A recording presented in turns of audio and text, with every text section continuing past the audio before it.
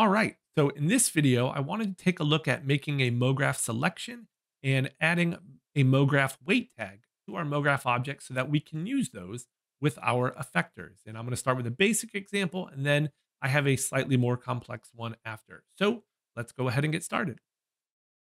All right, nothing too crazy here. So if you want to recreate it, you can. I have a basic cloner um, in grid mode and then one in linear mode here. So let's start with our cloner. And really what we're going to be talking about is our MoGraph selection and MoGraph weight um, paintbrush that store that information in different tags. Now I already have a selection tag here, which um, we'll see a little bit later, actually just a second how to create. And honestly, it's not all that different than um, being able to store a selection of points, polygons, or edges. So it's almost kind of, I don't want to say expected, but a, a natural extension of that. So with your cloner or other MoGraph object selected, come over to your MoGraph menu, choose MoGraph selection, and you'll notice nothing's really changed at this point until you start clicking. And that's when you will start to see little dot for each of your clones. Now you can change the mode in which you make this selection, whether it's brush or kind of other selection tools, as well as the radius of your brush. You can also change the radius of your brush by clicking in the mouse, a middle mouse button, scroll wheel, and then moving the mouse left and right or even up and down works. Okay, and then it's just a matter of selecting these. So I could select, just make an interesting pattern, right? Maybe a couple in the middle. We'll do a few more. I think that's the middle. Did I get it centered? No, I think I'm one off. So there we go. Okay, and that is now saved in our MoGraph selection tag. Now you'll see I actually have multiple tags. They do have different names, okay, which I actually think is pretty new, but uh, you don't have a way to actually name these like you do um, your normal stored selection. And the reason why I have two is because I wanted to make sure that you can have multiple selections because I do think that was a limitation previously, in large part because the names weren't different. So, what you can do is with your cloner selected, create an effector such as a plain effector. And um, I could leave position turned on, but for fun, let's just uniform scale and set this to say negative one. Oops. Okay, help if I can type. There we go. And notice how that effector is getting applied to everything. Now, if you want to use a selection, what you have to do is go into the effector tab, find the selection field, and then drag a selection in there. So here's the first selection I made. Okay. And then the second selection I made. So great. Both of those work. What I also want to see is can you use them separately? And I'm guessing the answer is yes, because like I said, now they have different names. So I can do that. And then let's see, this one uses second selection. So this one will use the first. And there we go. So you can store multiple selections and you can have them used in multiple effectors. Now, what you can't do is use multiple selections in a single um, effector. So uh, keep that in mind. And honestly, the process for the weight map is very similar, okay, both in terms of its creation and use. So I'm going to select this back cloner here and make this brush much smaller. Um, come over here to my MoGraph menu again and choose weight paintbrush. And then once again, same adjustments for the brush size. However, now we are adding weight. And so if you've ever kind of painted weights when when it comes to like rigging, it's a very similar process. So strength, um, you can determine how much you want, and then um, mode you want: add, erase, absolute, or smooth. And what I'm going to do is just start clicking here, and you'll see as I click, the color changes. So that one we'll say is max. Six, seven, eight, nine, eight, seven, I think. Let's do this. One, two, three, four, five, I think. Six. So hopefully I got close to what I was going for there. Um, but what we can see is that the color gets progressively brighter. All right. And so it'll have less of the effector applied or and more of the effector applied, depending on how much strength we added in our um, map here. Now, we can have our cloner selected. And if we have our map selected, and this also works for selection, when you add an effector, it will automatically use that selection or add that selection. And I think an easier way of visualizing this one is not going to be position, but scale. And honestly, I just need to do Y. Set that to negative one. You can see I got pretty close to what I was going for here, where um, we can see the strength essentially get less as we go down here, though, maybe not quite as evenly as it could have been. And really, those are the basics. Um, one thing I want to point out about both of these is that they can use fields. So you can use fields, you know, all your familiar box field, random field, you name it, um, and use that as a MoGraph selection and then have that go back in um, to the effector and choose what it's going to do. So that can be very useful. And we'll see that a little bit more in the more advanced example, which is what we are going to switch to now. And here we have it. I have a can. Now, I did not make this can, or really a lot of this file. If you search for can in your asset browser, go back to the default kind of layout, um, this is the scene I started with here. So um, um, oh, I'm not going to try and pronounce uh, that name, but this is the person who created it. So, very big thank you to them. And I've just kind of modified this for my purposes here. Uh, now, this was originally created for this standard material, uh, standard renderer, and I just modified it for Redshift since that's what I primarily use.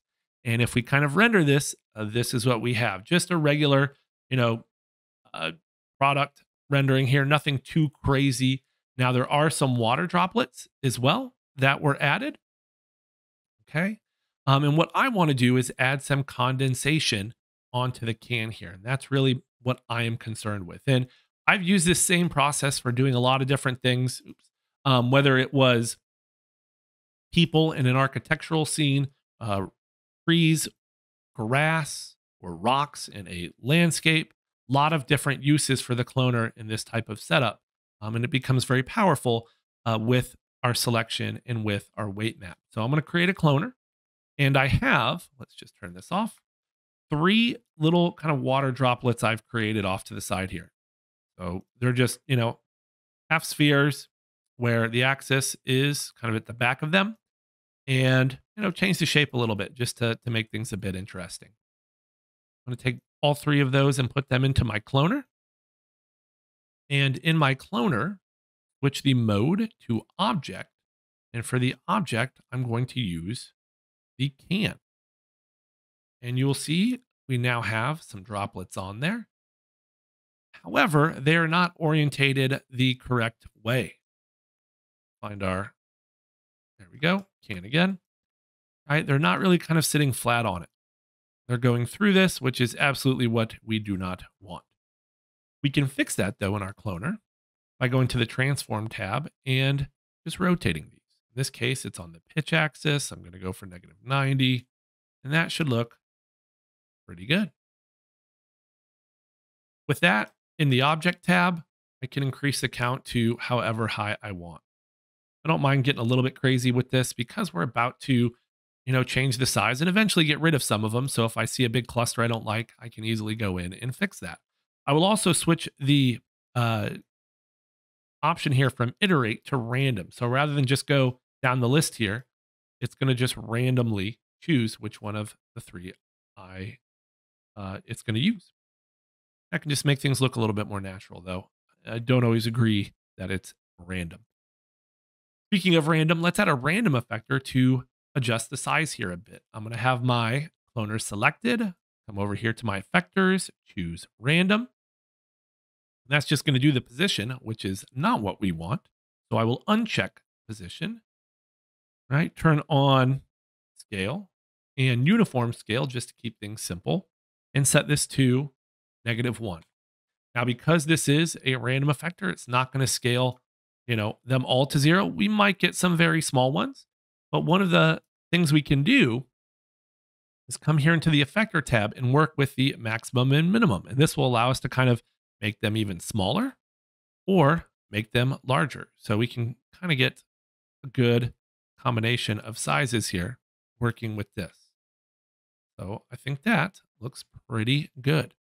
And just in terms of the render, what we have now, okay, this is what we have. We can add our liquid to it and, you know, not too bad. All right, the can texture, I probably would want to add some kind of condensation or, or things like that to it to take this even further. But for right now, I think this looks good. When you throw in the, the water drops, um, you know, starting to really get something that that looks interesting. So what we can do now is see if there's any droplets we don't want. Maybe that's them on the top here. Maybe it's some that are close together.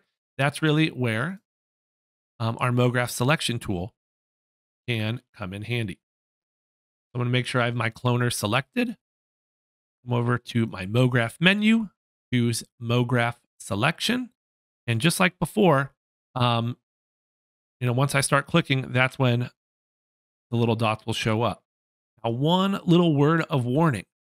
Okay, you can see I can see all these dots, you know, from the opposite side. I can still select those. So what that means is it, you know, it's not just selecting visible ones or ones that are facing me, it's selecting all possible clones, even if they're on the complete opposite side. So that is something to be mindful of and just pay attention to. And so zooming in um, is important. And then once I make a selection of one, that's when I'm going to need to start holding down shift. Um, to add to my current selection. And I can go through here and, you know, get rid of however many I want. You know, maybe I don't want nearly as many on the lid or perhaps just the rim. So I can go through and make these selections. And whenever I'm done with this, right, that's when I can come through, you know, come back to my camera, see if there's anything I missed that's pretty obvious. Eh, right now, that's just fine. And come with my cloner selected here, back to my MoGraph menu, we have a hide selected effector already for us. Okay, so I do that and it's going to hide the ones I selected. Now, what this hide selection is doing is essentially a plain effector. It's using my MoGraph selection already, okay, because it was selected. And in the parameter tab, it's adjusting the, the visibility based on the alpha strength. So essentially, is it selected or is it not? If it is selected, it's disappearing. Okay. I've used this in the past where um, you can just set the scale to uniform scale and set it to negative one, not in this particular effector, but in others, and it will make things disappear as well. Okay. So that can be a great way to hide things very quickly. Now, I mentioned you know, we can use fields with this. And so if I decide, hey, I don't want to see any on the top here for whatever reason, I could just check use fields, add, say, a box field. Okay. Maybe even get rid of that inner offset. Take that box field. And what you'll see is it's going to start selecting them wherever, whichever ones are inside. So just using this field, I can kind of place this around the top of my can. Okay, getting pretty close. Something like that.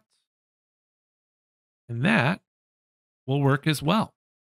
Now, the advantage of using a field for this um, is a couple of different um, options. One it's very easy to modify this. So at any point I can go, nope, don't want them, you know, don't want those hidden. And I can move the fields, get rid of the field.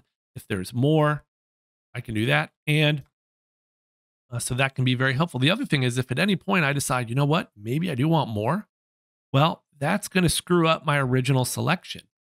Okay. Since it was based on, you know, how many I had and the numbering I had previously.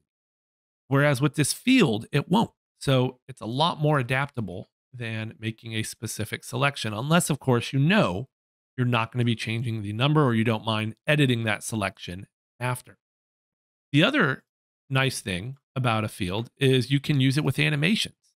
So I could use this to hide them, show them, um, and perhaps do other things like get them to maybe kind of fall down a little bit, which would be a little bit more advanced and not sure you need, well, that probably would use another effector in field, but you know, animation could be a big part of this. And lastly, with in regards to animation, I would need to do something with the field if I plan on actually animating the can.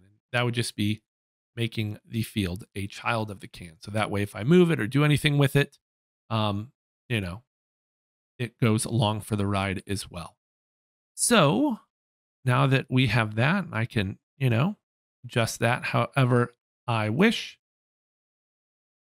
We have gone through and added some condensation to our can, to our image. And that will do it for this video. Let me know if there's anything else you want to see and take care.